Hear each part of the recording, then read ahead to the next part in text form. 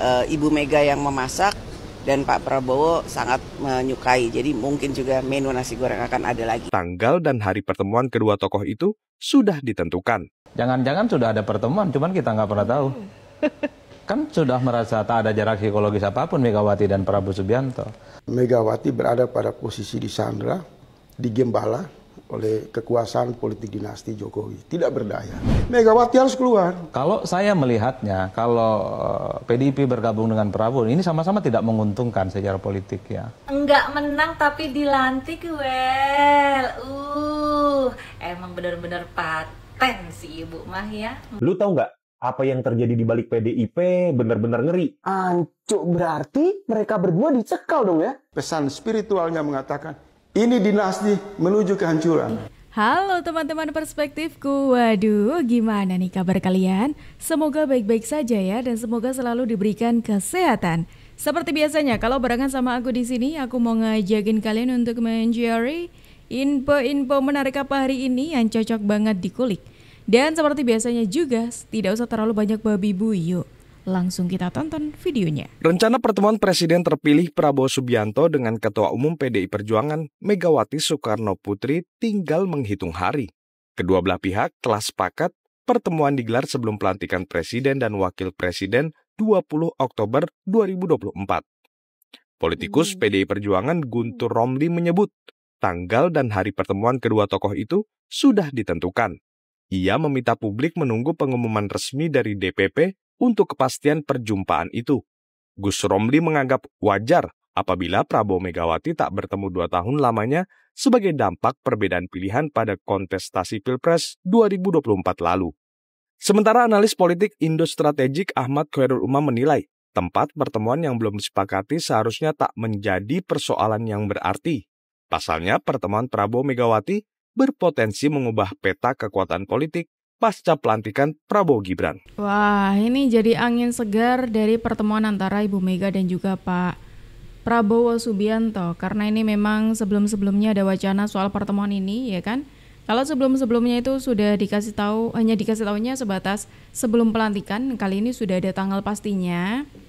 Sudah dikonfirmasi kalau tanggal hari pertemuan itu sebelum pelantikan, tapi kita masih belum tahu kapan itu ya yang terbaru semuanya berdu beliau berdua sama-sama berkeinginan untuk uh, bertemu secepatnya uh, menunggu waktu yang tepat.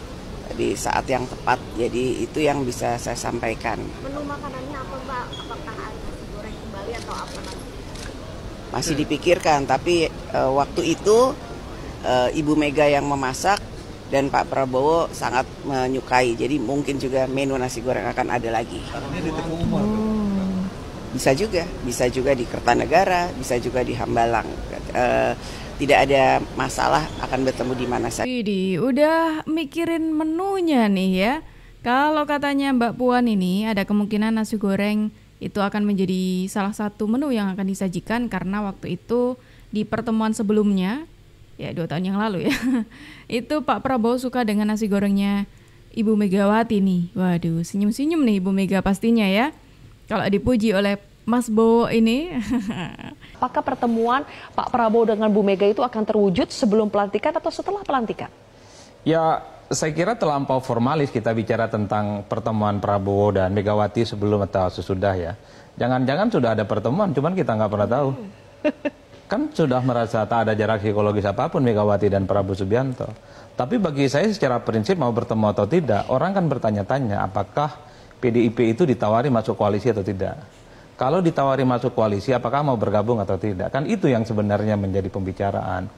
Kalau saya melihatnya, kalau eh, PDIP bergabung dengan Prabowo, ini sama-sama tidak menguntungkan secara politik ya. Tidak untung dari segi Prabowo karena apa pun pemerintahan itu perlu dikontrol. Hmm. Pemerintah dalam banyak hal pasti akan mengeluarkan kebijakan-kebijakan politik yang dalam banyak hal itu menimbulkan resistensi dan sesuatu yang tidak berkehendak dengan rakyat butuh di situ partai seperti PDIP yang menjadi oposisi, memberikan sikap kritis tentu saja. Dari segi PDIP tidak terlampau menguntungkan, tentu akan kehilangan ceruk pemilih yang pastinya tidak suka dengan Prabowo, tidak suka dengan Gibran. Karena segmen pemilih itulah yang saya kira harus dirawat. Oleh karena itu, paling mungkin ya, kalau PDIP menjadi bagian dari koalisinya Prabowo, tidak harus menjadi bagian dari menteri misalnya, Siapa saja koalisinya mungkin akan disepakati tentang alat-alat kelengkapan dewan di DPR. Sama-sama seksi posisinya.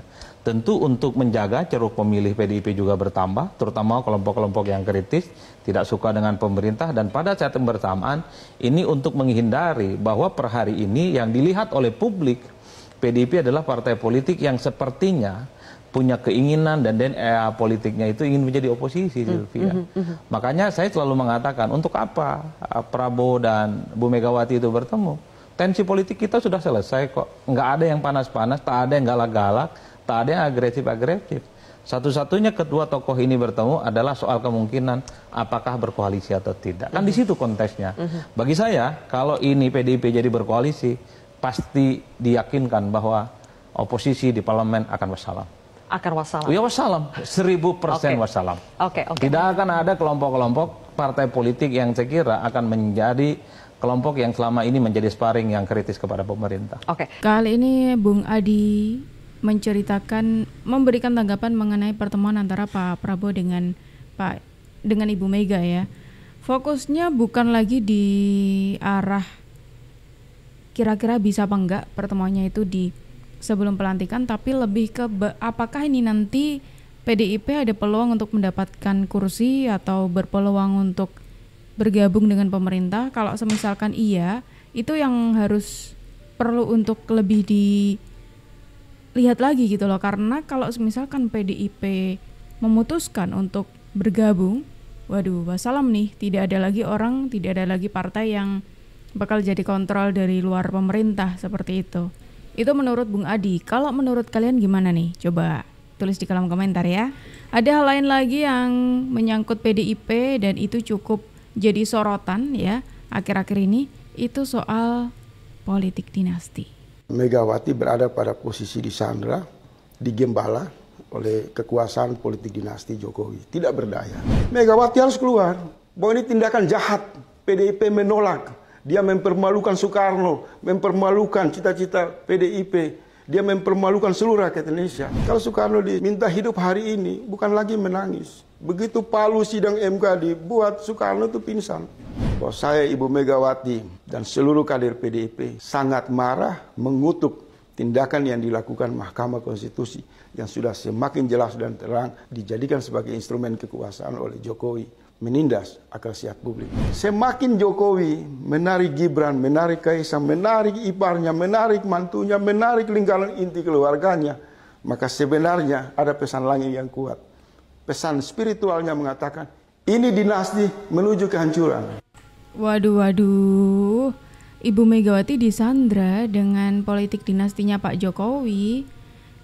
Kalau melihat akhir-akhir ini gimana, Bung? Apakah Statement tersebut masih berlaku dengan adanya cucunya Bung Karno ini pada akhirnya dilantik dan membuat kader lain itu mundur.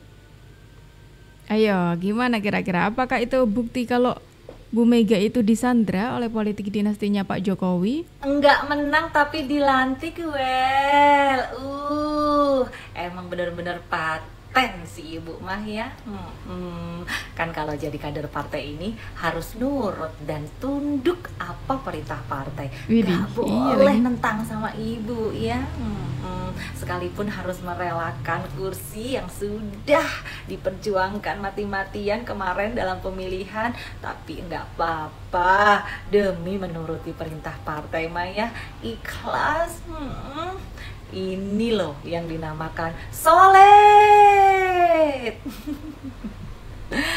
Aduh, yang menang dipilih oleh rakyat dibilang politik dinasti. Terus kalau yang juara tiga tapi dilantik dibilang apa dong? Ayo, hmm? ya udahlah ya. Selamat deh untuk semua anggota DPR RI yang hari ini dilantik ya. Semoga kalian semuanya amanah well. Hmm. Emang ya topik ini tuh lagi dibahas banget karena ini cukup ketara banget kalau hal ini tuh termasuk politik dinasti. Karena cucunya seorang cucunya Bung Karno itu bisa maju dilantik dan harus mengorbankan dua orang memutuskan untuk mundur gitu. Apalagi dengan statementnya Bung Arteri yang salah satu orang yang disuruh untuk mundur ya. Apalagi statementnya dari Bung Arteri yang termasuk salah satu dari dua orang tadi yang pada akhirnya mundur itu mengatakan kalau hal ini merupakan buktinya bukti nyata kalau beliau itu melayani Ibu Mega dan juga keluarganya itu kayak wah ini the real dinasti politik kah gitu. Lu tahu nggak apa yang terjadi di balik PDIP benar-benar ngeri. Ngeri gimana maksudnya Pak? Jadi gini, di pemilu kemarin PDIP itu dapat dua jatah kursi di dapil Jatim 6. Nah, kursi pertama yang dapat itu Pulung Agustanto, adiknya Pramono Anung. Kursi kedua yang dapat itu Sri Rahayu. Oke, berarti mereka terpilih nih ya jadi anggota DPR. Yoi, otomatis. Tapi yang apes, Sri Rahayu sama Arteria Dahlan ada di satu dapil yang sama dengan cucu Soekarno, Pak. Emang kenapa kalau satu dapil? Nah, ini yang seru. Romi Soekarno, cucu Soekarno yang tadi, itu kan ada di urutan keempat. Jadi ada Pulung, Sri Rahayu, Arteria, baru Romi kan. Nah, PDIP ngirim surat ke KPU kalau Sri Rahayu ini mengundurkan diri. Gua nggak tahu apa alasannya. Oke, terus? Kalau kayak gitu, yang mestinya naik Arteria dong, urutan ketiga. Tapi di tanggal yang sama, PDIP juga bilang kalau Arteria mengundurkan diri. Ancuk, berarti mereka berdua dicekal dong ya? Bahkan Arteria aja bilang kalau ini tuh bagian dari melayani ketua umum dan keluarganya. Apalagi yang naik ini bagian dari Royal Family. Gitu katanya. Wah, gila. Sakit sih PDIP. Jadi, lu masih percaya PDIP anti politik dinasti? Tadi aku sudah berkomentar soal ini, jadi sekarang giliran kalian untuk berkomentar ya. Coba, kalian boleh komentar di kolom komentar, nanti akan aku baca komentar dari kalian. Nah, teman-teman semuanya terima kasih banyak karena kalian sudah menemani aku dari awal sampai akhir. Sayangnya kita harus akhiri dulu nih video kita hari ini sampai di sini. Tenang aja karena besok insya Allah kita akan ketemu lagi ya. Jadi jangan lupa untuk diklik tombol subscribe-nya supaya kalian tidak ketinggalan info terbaru dari kita. Aku Jub Jub pamit undur diri dulu, sampai jumpa dan terima kasih.